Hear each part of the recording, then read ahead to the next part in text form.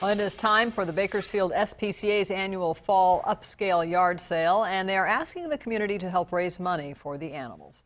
Donations have already started to pile in for the sale that will take place in November.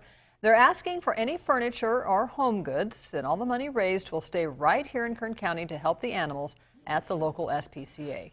Volunteers will then be brought in to clean the items, price them, and then help put the money to good use, helping cats and dogs find a home.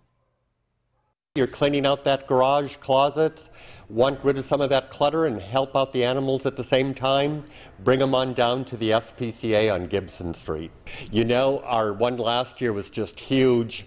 We had everything from vintage pinball machines, furniture, antiques, collectibles, uh, just all types of things. And so anything someone wants to get rid of, bring it on down.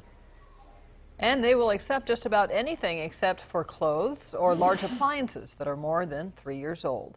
All donations can be dropped off anytime during business hours at the Bakersfield SPCA on Gibson Street, and they will even pick up your items if you can't find a way of bringing it to them. Just call Chuck Nordstrom at the number on your screen, 323 8353, extension 10.